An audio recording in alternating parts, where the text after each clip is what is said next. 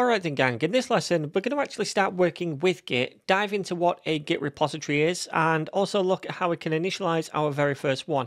And I've actually already got open the starter project inside VS Code which is what we're going to be working with for the majority of this course. But anyway, what exactly is a Git repository? Well, you can think of a repository as a container around your project that tracks the complete history of everything inside that project and all the changes made within it. And this repository tracks everything who made the changes, when they made them, and why they made them. It's basically like having a massive diary for your project, but one that can bring back old versions of your files if you need them.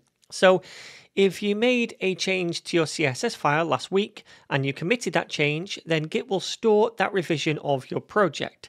It would be almost like taking a snapshot of your code at that moment in time and saving that snapshot. Then, if you changed some other files again a few days later and committed those changes as well, then Git will have both versions or both snapshots stored away safely, and you can go back to the previous version if you ever needed to.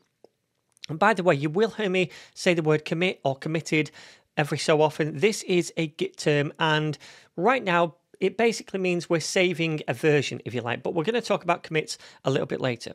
But anyway, this is like having unlimited save slots in a video game, I guess, where you can always go back to an earlier save point if you mess something up. Now, you might be thinking, well, if a Git repository stores every single committed version of a project on your computer, is it not going to take up a huge amount of space? And the answer is no, because the way Git stores versions is really clever. And instead of storing multiple versions of the entire project, it only stores the differences between versions, the parts of the files that changed. So if we're winding back, all Git needs to do is remove those changes. Anyway, if we want to start using Git within a project, we need to make a new repository for that project. And to do that, we can use the git init command within the root of this project. So make sure you're in the correct folder here when you run this.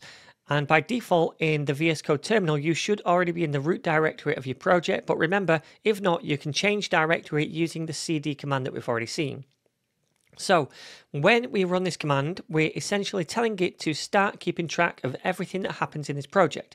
And Git responds by creating a hidden .git folder inside the root of this project. Now, I can demo that by using the ls command with the a flag to show all files, including hidden ones, and we should see that .git folder.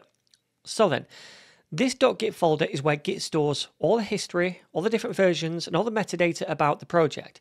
You never need to go inside that folder yourself. Git handles all of this for us, but it's good to know it's there because that's what makes a regular project into a Git repository. If you ever delete that Git folder, by the way, you're going to lose all of your version history, so try not to accidentally do that.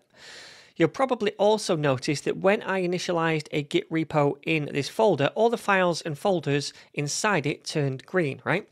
This is a VS Code feature which integrates well with Git and it automatically detects any untracked changes or new files added to a repo, then highlights those files in the file tree. In this case, they're all green because none of them are being tracked by Git yet. So this is something important to understand. Even though we have those files in our repo, Git isn't automatically tracking them to begin with. We need to explicitly tell Git which files we want it to track, and we'll learn how to do that later.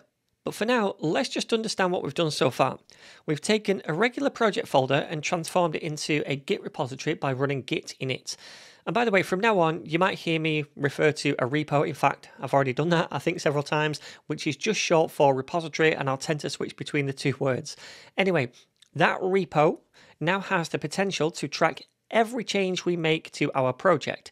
Now, the files we've created inside this repo are sitting in what Git calls the working directory. And right now, those files are untracked, which means Git knows they exist, but it's not paying much attention to them. So the working directory is where you edit your files, write your code, and make your changes. The repository itself, that hidden.git folder, is where Git stores all the history and the versions of the project. And then there's actually a third area in between called the staging area, which we're going to talk about in the next lesson.